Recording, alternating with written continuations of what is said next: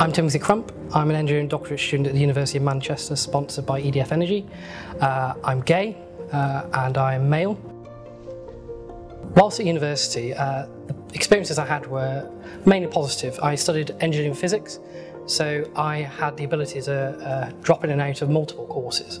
And from the range of courses I, I, I, went to there and the people I met, the objective always was the project at hand.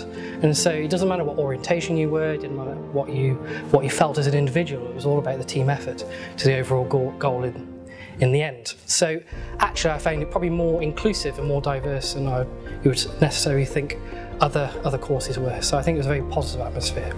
And especially, I remember in a, a civil engineering, uh, civil engineering uh, um, class I went to, where a guy I knew very well from the LGBT society uh, walked down those steps in six inch high heels for the first time. He's very gender fluid, and for the first time he walked down those steps and no one batted an eyelid because no one noticed he was there because they were in their books doing their engineering. And that's what I think is so wonderful about doing a STEM subject, is actually the focus is not on the individual, it's on the task at hand. While in engineering, it's very important to show who you are, I think, because we are by nature quiet, reserved people, uh, and I think it's really important to stand up and show who you are. The diversity within engineering is vast, not necessarily just within sexuality.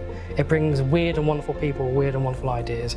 And it is very important that people show that diversity and represent what the actual company branding really is.